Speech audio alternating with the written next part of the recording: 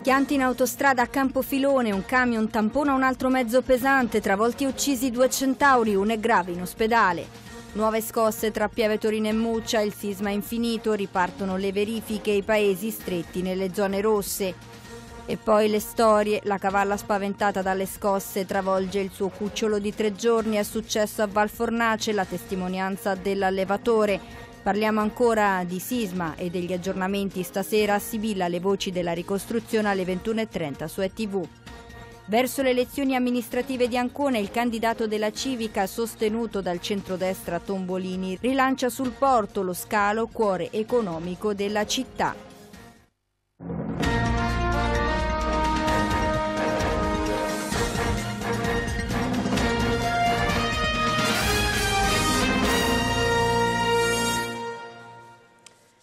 Buonasera e ben trovati a questo nuovo appuntamento con ETG Marche, in onda anche su Radio Center Music, frequenza 99.100, in primo piano la cronaca, come leggiamo anche dal portale tvmarche.it, di due motociclisti morti, uno di 72 l'altro di 66 anni e un altro ferito il bilancio di un incidente stradale avvenuto attorno alle 12 lungo l'autostrada 14 all'altezza di Campofilone nel tratto tra Grottammare e Pedaso. Sulla dinamica del sinistro sono in corso accertamenti da parte della polizia stradale intervenuta sul posto insieme al personale medico del 118 e dei vigili del fuoco. Secondo una prima ricostruzione un autoarticolato ha rallentato per immettersi in un cantiere dell'autostrada quando è stato tamponato tamponato da un altro mezzo pesante che lo seguiva e che lo avrebbe spinto in avanti, travolgendo dunque i motociclisti. Due sono morti sul colpo, un terzo, come detto, è stato soccorso e trasferito in ospedale. L'incidente ha provocato anche rallentamenti al traffico veicolare con una coda di circa due chilometri. Ed ora torniamo nel Maceratese, nuove scosse tra Piave Torino e Muccia dopo quella di magnitudo 4.6 del 10 di aprile alle 5.11, il sisma infinito, ripartono le verifiche, i paesi sono stretti nelle zone rosse, il focus su Camerino a cura di Lucio Cristino. Vediamo. Come si continua a vivere in queste zone? È, è, è logorante a livello insomma, di, di, testa, è chiaro, quando vai a dormire è sempre un po', un po questa paura perché la, quando dormi è il momento no, di massima fragilità che ha una persona, eh, però chiaro, poi la mattina si fa forza e si ricomincia da capo. Il tempo che scandisce notte e giorno è lo stesso che intercorre tra le scosse di terremoto. Ogni volta nel buio che fa tremare e provoca nuovi danni segue una giornata per ricominciare. Dopo il 26 ottobre 2016, dopo il 30 ottobre dello stesso anno, dopo il 10 aprile 2018, ore 5.11 tremano Muccia, Pieve Torino e Camerino, magnitudo 4.6, seguono altre repliche. Ogni volta si ricomincia a partire dai 40 nuovi sopralluoghi richiesti nella città Camerte. Si è detto un'emergenza senza fine. Eh sì, perché praticamente questo, questi 40 sopralluoghi eh, vuol dire che ci saranno 40 nuove schede EDES eh, che dovranno essere riviste e quindi bisognerà ripartire da capo per, per, questo, per queste 40 famiglie, per queste 40 persone. Insomma. L'obiettivo è riaprire il centro storico partendo dalla messa in sicurezza sulle abitazioni private. Corso Vittorio Emanuele II a Camerino i puntellamenti che sono iniziati sugli edifici privati permetterebbero di arrivare sostanzialmente dalla piazza principale, piazza Cavour, fino a Santa Maria in via. La strada è piuttosto stretta e per cui bisogna alternare poi i cantieri. Questo che tipo di tempo potrebbe far perdere? Allora, i tempi stimati per completare i puntellamenti delle principali vie eh, di, di, accesso alla città, quindi dal Duomo a Piazza Santa Maria in Via, sono all'incirca un anno e mezzo. Per Camerino, aspettando una ridefinizione dei comuni nel cratere sismico tra i più colpiti e i meno colpiti, una sfida diventare a centro storico riaperto anno 2020 modello di ricostruzione poter visitare la città vuol dire poter visitare i cantieri e quindi potrebbe essere anche l'occasione per ehm, questo passaggio no, di eh, poter studiare, poter utilizzare la città come fosse un laboratorio per degli studenti magari di architettura, ingegneria, poter vedere i lavori come proseguono, poter vedere, vedere i puntellamenti e così via. Come detto dunque sembra davvero un sisma infinito, una scossa di magnitudo 3.4 è stata registrata alle 2 con epicentro ancora a 2 km da Pieve Torina, si tratta della più forte di quattro eh, scosse rilevate dalla mezzanotte nella zona, tra cui un'altra di magnitudo 2.9 all'1.52 martedì notte, eh, insomma l'abbiamo detto la scossa da 4.6 che ha portato paura e nuovi danni danneggiamenti e sono in corso le verifiche sugli edifici finora agibili, forse non lo sono più, bisogna ripartire eh, ancora con le verifiche a Edes eh, appunto per eh, capire eh, se questi edifici sono ancora abitabili o meno, ci sono stati anche danni all'interno delle SAE, piccoli danni, sono caduti mobilio e suppellettili, a Pieve Torina peraltro l'aggiornamento è di sette famiglie tuttora sfollate. Ne parleremo eh, stasera all'interno del nostro spazio settimanale Sibilla Le Voci della Ricostruzione in cui da settembre teniamo il punto tutte le settimane per quanto riguarda ciò che succede nell'area colpita dal terremoto del centro Italia dal 24 agosto eh, 2016. Ed ora Andiamo avanti ancora con eh, la cronaca, i vigili del fuoco invece sono intervenuti ieri sera a Posatora in via Montisibillini ad Ancona per l'incendio di un'autovettura coinvolta una smart che è andata completamente distrutta. Eh, la squadra dei vigili del fuoco sul posto ha estinto l'incendio che ha provocato danni anche alle auto e alle strutture nelle immediate vicinanze e ha anche messo in sicurezza l'area circostante. Ed ora apriamo una pagina dedicata alla sanità regionale, prendiamoci cura, proposte concrete per migliorare spazi e servizi all'interno dell'ex CRAS di Ancona, l'iniziativa dei sindacati. Sentiamo Andrea Fiamma.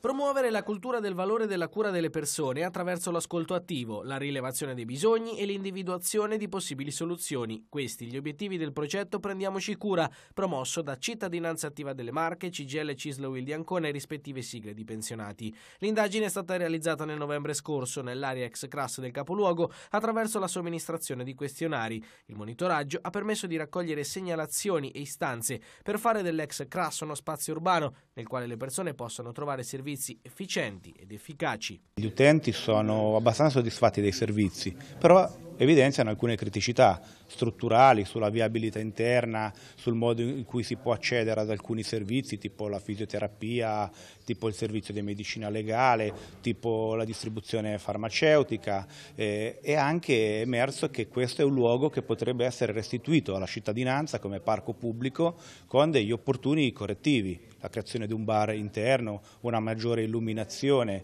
ed sarebbe importantissimo per un quartiere che necessita di un'area verde è uno dei luoghi principali di gestione e smistamento dei servizi sanitari per la città da vari punti di vista ed è invece anche un luogo molto importante dal punto di vista ambientale e urbanistico per la città.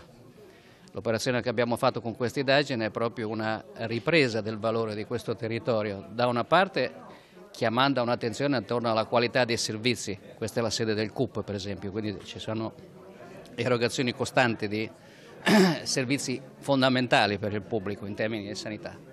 Dall'altra è un'occasione di eh, prosecuzione dell'attività di recupero ambientale di utilizzo nuovo anche delle possibilità del sito che pensiamo vadano approfondite. È un progetto sperimentale che verrà proposto a livello nazionale. Eh, nel monitoraggio che abbiamo fatto attraverso i questionari sono emerse delle criticità delle criticità sul perimetro eh, interno per quanto riguarda la manutenzione del verde, ma soprattutto quello che ci interessa, le risposte degli utenti e degli operatori con criticità sia pur di medio livello ma che eh, persistono. Mi riferisco alla segnaletica, alla medicina eh, del lavoro, mi riferisco alla fisioterapia.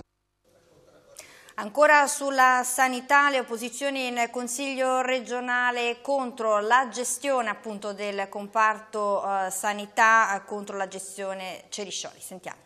Totale assenza di programmazione. Abbiamo visto non solo attraverso lo strumento principe che è appunto il piano sociosanitario un'assenza pesante in quella che è un ruolo gestionale importantissimo e programmatorio, ma di fatto abbiamo una regione che in qualche modo è ferma al 2000 per quanto riguarda la riproposizione dei LEA sul territorio e abbiamo purtroppo un modello sanitario che non risponde alle esigenze dei cittadini. Stiamo vedendo in questi purtroppo anni di gestione riduzione fondamentalmente dei tagli a quelli che sono i servizi erogati sul territorio, stiamo vedendo un impoverimento di quella che è la sanità pubblica, a tutto questo noi vogliamo dire no, vogliamo dire in qualche modo di eh, cambiare rotta a questa regione. Una sanità che ha un budget esclusivamente di spesa per cui non bada più ai bisogni della persona ma si rivolge in genere alle comunità.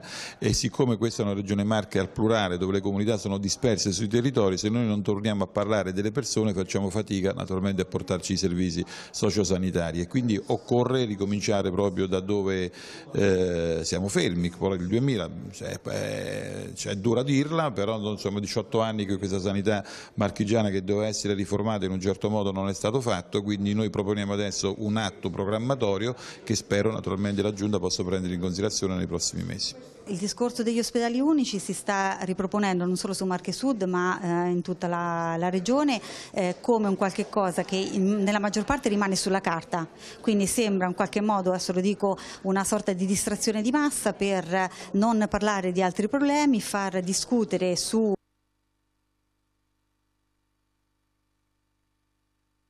eh, come dire, dividere i territori sulla collocazione di questi ospedali, nella maggior parte dei casi non sappiamo i finanziamenti, quelli che erano finanziati lo vediamo sono fermi al palo perché se andiamo a guardare, io ci passo quasi tutti i giorni di fronte eh, a Camerano abbiamo diciamo, l'ospedale bloccato, quindi sono eh, delle questioni sulle quali bisogna porre fortemente l'attenzione senza però cercare di creare un campanilismo e una lotta fra territori. Un giovane dall'apparente età di 20, forse 25 anni, di origine libica, a quanto pare si è gettato in mare da un traghetto dell'Anec Lines proveniente dalla Grecia che si trovava in mare aperto davanti al porto di Ancona. Il ragazzo non è in pericolo di vita, è stato notato dal personale di un natante degli ormeggiatori di Ancona che lo ha recuperato e preso a bordo. È intervenuta una motovedetta della Capitaneria di Porto. In banchina il giovane che ha subito un trauma cranico ed era in condizioni di ipotermia. È stato soccorso dai sanitari della Croce Gialla e 118 anche con dei teli termici appunto per far salire la temperatura corporea. Sul posto la polizia di frontiere, il ragazzo è stato trasferito all'ospedale di Torrette per gli accertamenti del caso. E restiamo al porto di Ancona però ehm, verso il percorso delle amministrative nel capoluogo regionale il prossimo 10 giugno il candidato della Civica sostenuto dal centrodestra Stefano Tombolini rilancia proprio sul porto lo scalo come cuore economico della città. Sentiamo una valorizzazione del porto in chiave eh, commerciale, una valorizzazione del porto in chiave produttiva con attenzione ai cantieri. L'auspicio è quello che eh, l'amministrazione comunale sia in grado di assumere un ruolo capace non soltanto di illuminare i lungomari, ma di rendere il porto eh, come un polmone economico e sociale di questa comunità. Lavoro, turismo, ambiente si declina per macro temi l'idea di Stefano Tombolini, candidato sindaco del centrodestra sostenuto da alcune liste civiche sul porto di Ancona. Uno scalo in cerca di rilancio, con la cantieristica, le infrastrutture e qui ritorna il sempreverde argomento dei collegamenti in uscita con la grande viabilità e infine con l'attrattività di una città che possa diventare capace di accogliere il turista, crocerista, visitatore.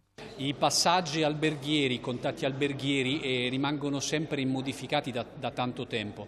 Noi riteniamo che insieme alle compagnie di navigazione con l'ausilio dell'autorità portuale si debba arrivare a modificare gli orari di arrivo e di partenza in questa città con una lettura in duplice chiave. Innanzitutto il, eh, la fascia mattutina eh, necessita un arrivo eh, serale eh, che consentirebbe alle persone di eh, visitare la piastra commerciale, di utilizzare i bar, di acquistare la merce nei negozi, di andare al ristorante. Eh, un milione di contatti, il 20% significherebbe 200.000 persone che eh, usano la nostra città.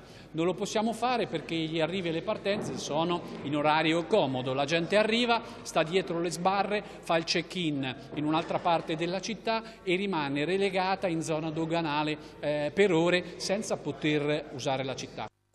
E tra le storie dal sisma che vi abbiamo segnalato anche nei nostri titoli c'è quella di un allevamento di Val Fornace, una cavalla spaventata dalle scosse che ha travolto purtroppo il suo cucciolo nato da tre giorni. Succede anche questo nell'Italia centrale colpita dal terremoto, in particolare nel Maceratese che risulta epicentro di queste ultime scosse. Vi racconteremo questa storia eh, nei prossimi notiziari e nei nostri approfondimenti ricordandovi appunto l'appuntamento questa sera alle 21.30 con Sibilla, le voci della ricostruzione. Io per il momento mi fermo qui, la linea passa alla nostra rubrica Marche Flash e poi la parte sportiva del nostro notiziario a cura di Andrea Fiano. Restate con noi.